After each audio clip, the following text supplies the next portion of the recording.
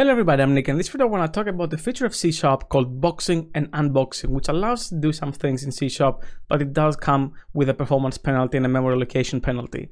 Now I'm going to try to break it down for you because it can be a confusing topic because we're going to have to talk about memory allocation as well. We're going to talk about the stack and the heap but I'm to try to explain it as simply as possible so you understand it. And we're also going to run a few benchmarks to see how it will impact our code in terms of performance as well because there is a penalty there. Whatever you learn out of this video should not make you go back to your code and change anything. This is not about this.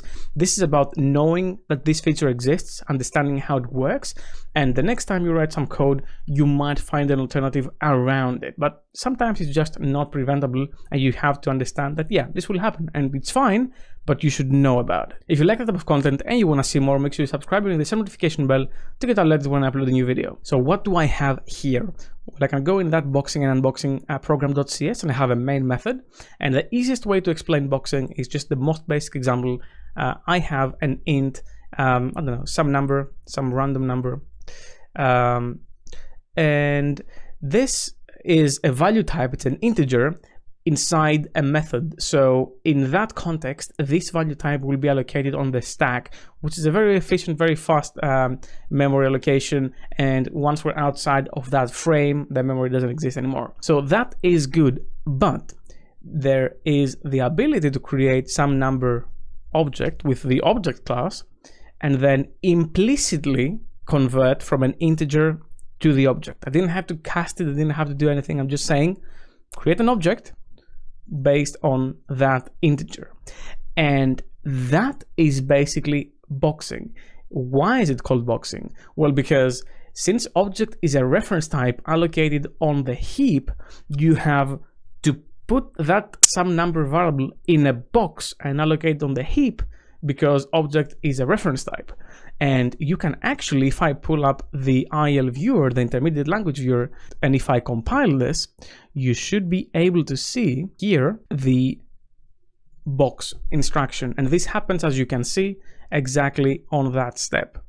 Now, this might not be quite as clear as I'd want it to be in terms of, you know, showing you the memory location. So instead what I'm going to do is I'm going to debug this and we're going to take a look at the memory itself. So Rider supports this uh, memory window and I will load all the memory here and this is what you would see the, on the heap and you can see strings and a bunch of other uh, stuff here and then when I step over that some number I've created my um, int and if I reload the memory you'll see there is no difference because nothing was allocated on the heap here.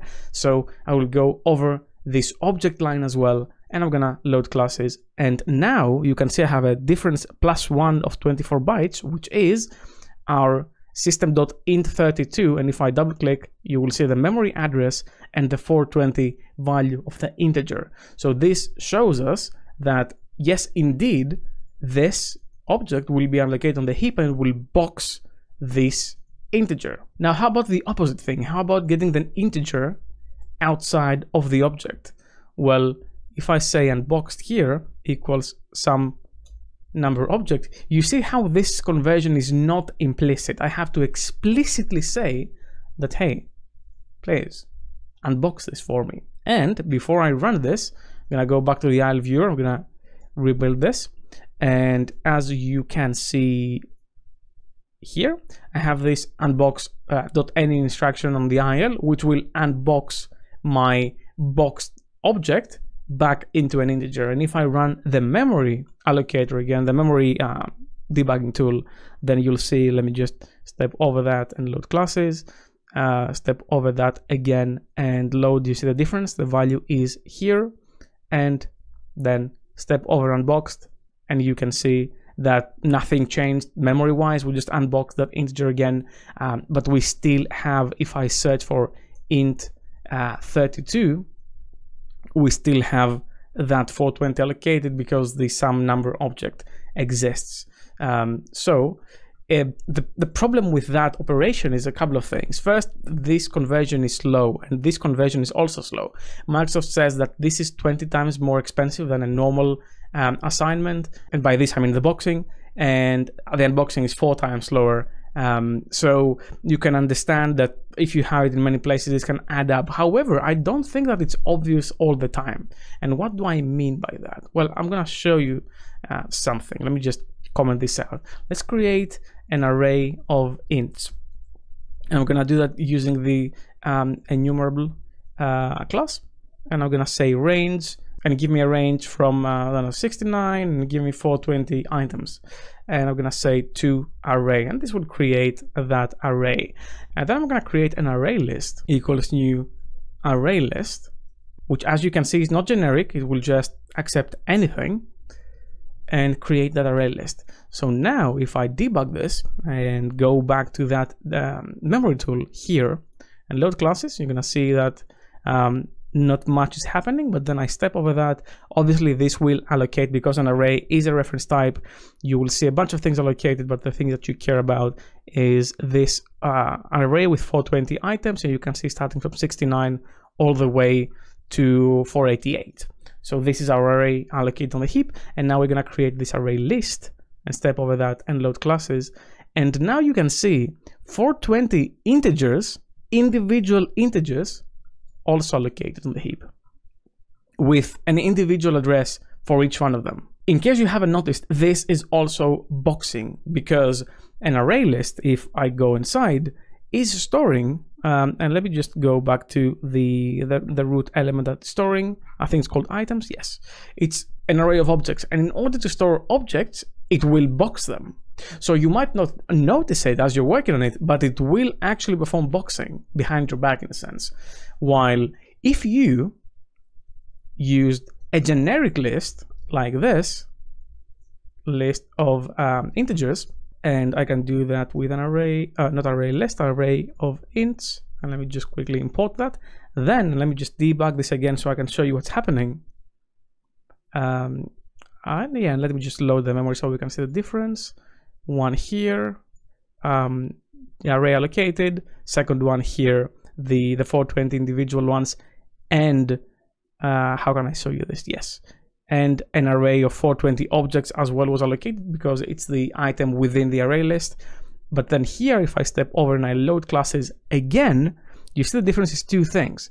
It is a single array in this scenario of 420 items instead of allocating each one of those individual items from the boxing. So generic list will actually solve that problem in this specific scenario. Now, you can't always know what's going on behind the scenes and most likely is that things will get boxed but if you can prevent it on your end then please do now what I have in this uh, .benchmarks project is a BenchmarkDotNet application which will run some benchmarks. Uh, this following four actually it will try if I go to the boxing service it will try to uh, box a value unbox a value um, and then just simply return and simply return object. And this will show you the difference between this being a boxed operation or unboxed operation or just a direct return. And obviously the direct thing will return faster, but we want to know how much faster. So what I'm going to do is I'm going to change that to benchmarks and this to release because I want the most optimized version of the IL code. Um, and then I'm going to click execute and I'm going to let this run. And after a couple of minutes, results are back. And as you can see, the box value operation is almost 2 nanoseconds. The unbox is 0.0215 nanoseconds.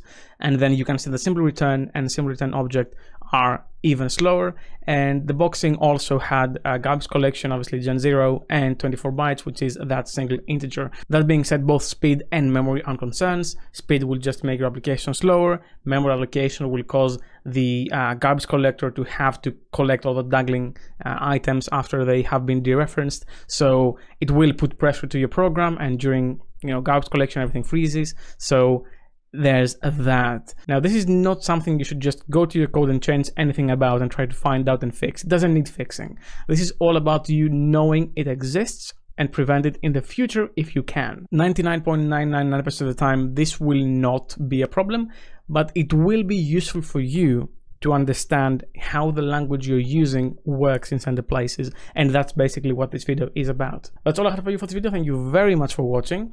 Special thanks to my Patreons for making these videos possible. If you want to support me as well, you can find the link in the description down below. Leave a like if you like this video, subscribe for more content like this and ring the bell as well. And see you in the next video. Keep coding.